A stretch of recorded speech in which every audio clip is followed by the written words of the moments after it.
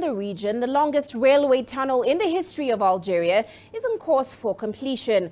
The construction of the Gantes railway tunnel is part of the project of doubling the track with rectification of the railway line between the stations of El Afroun and Khemis Miliana of the Algiers-Oran line. Now, the total length of this two-tube channel is about 14.68 kilometers.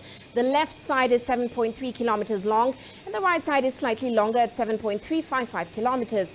Currently, 13.7 kilometers have been dug, representing a completion rate of 93.2%.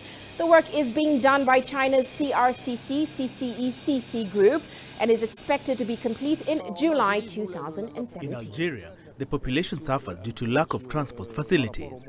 The mode of rail transport has serious delays and we the citizens are suffering because we are obliged to use the road, facing all the disadvantages in road accidents. Regarding this project, we are very satisfied. When it will be entirely finished, it will allow us to travel from extreme east to the extreme west in a reduced time.